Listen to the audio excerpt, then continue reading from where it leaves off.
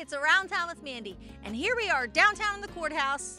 And as you can see, the old girl's gone. But don't worry, our crew came out on Saturday, July the 20th to witness a little bit of history and record from start to finish the process of taking her down. Our circuit courthouse, the historic courthouse, it is our grand old lady. We're very proud of it. And the elm tree is a very, very big part of it. Uh, my facilities manager, Paul Kirst, and I, we've talked for years about how we enjoy taking care of the grounds, taking care of the building, and that tree has been a very special part of it. Um, sadly, we noticed last fall, summer, excuse me, last summer, the tree wasn't looking very well.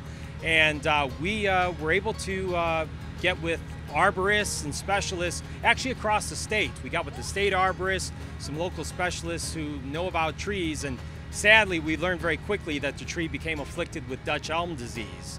And it was not something we expected. We knew it was an elm tree, but we thought they had been resistant to it because it lasted all these Gotcha. years. And that was not the case. And so, very, very sad. But nonetheless, the commissioners were fully behind doing everything we could to save it.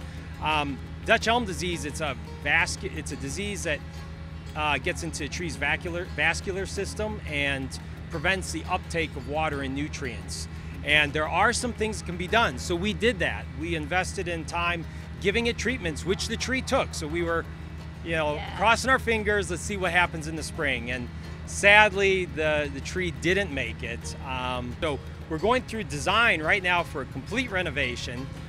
With the trees dying, we are now in a position where we are deliberately designing the courthouse renovations around the tree.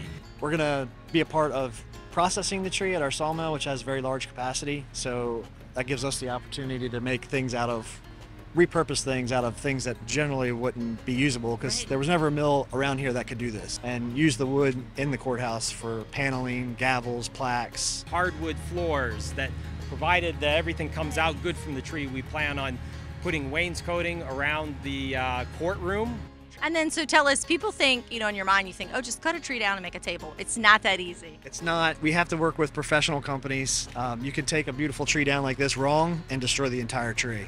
So we've worked with Economy since we've been in business. Um, great to work with. Very professional. Having the equipment like they do is pretty much key, especially on the large trees because they have the opportunity to handle them properly.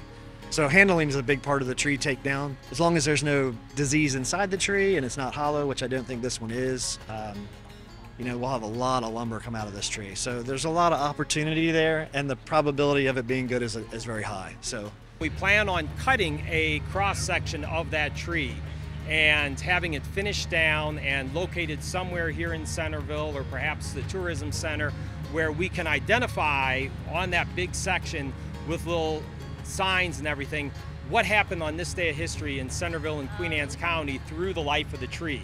Though it's a sad thing, really the timing couldn't have been better because we're going to be able to preserve the legacy of the tree for decades to come.